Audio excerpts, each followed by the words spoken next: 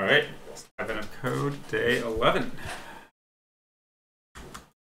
Uh, okay.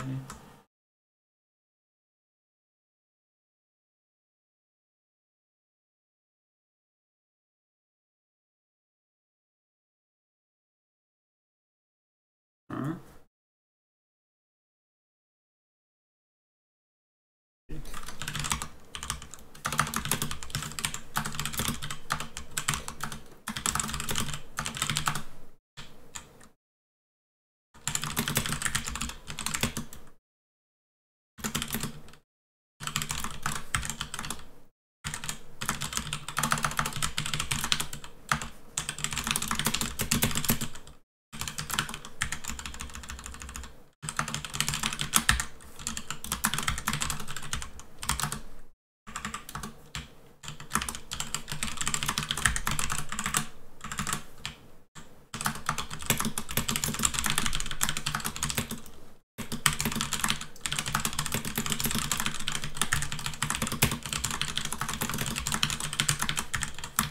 Okay.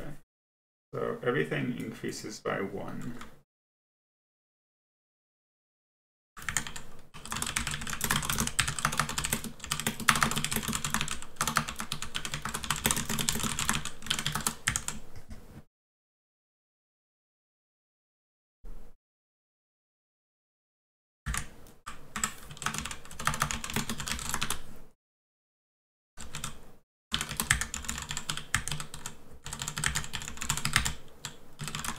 If ERC equals 10.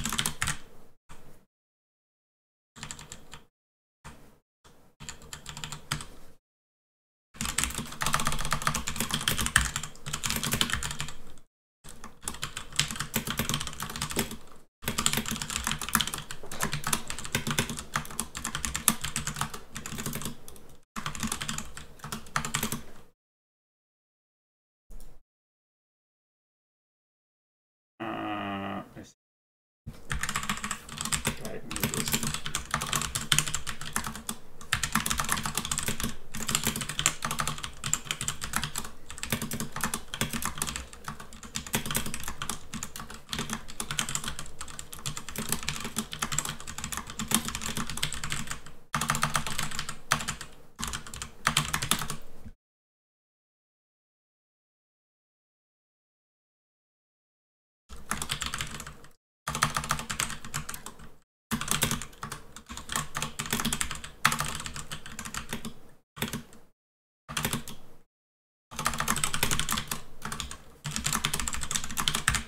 Okay. Uh,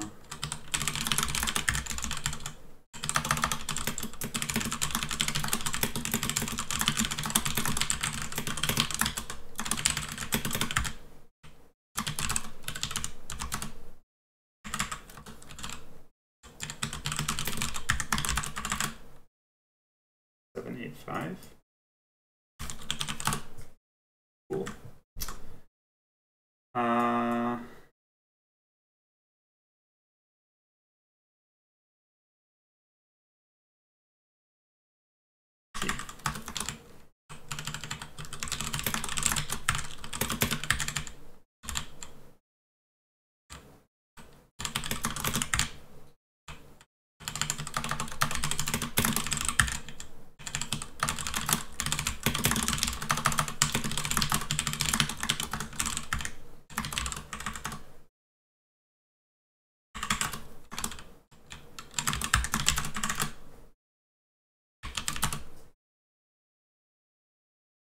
all right.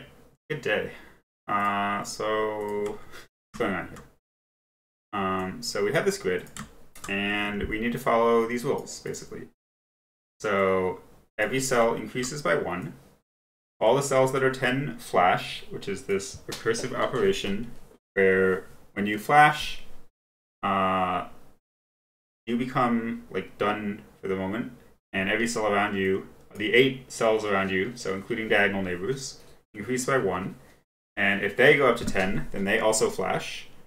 Uh, and so you just keep doing this, you know, as long as stuff is happening.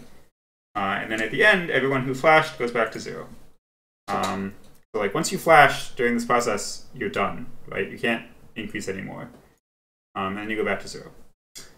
Uh, and so part one is just do this 100 times and count how many flashes occur.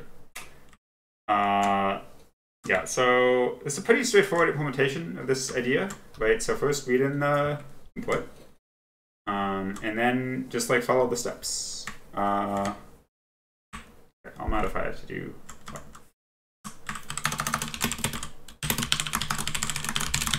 I guess that's part one. Uh, so go through all the octopuses and increment them by one. Then go through all the octopuses, and if they're 10, have them flash. Uh, and then go through all the octopuses, and if they flash, reset them to zero.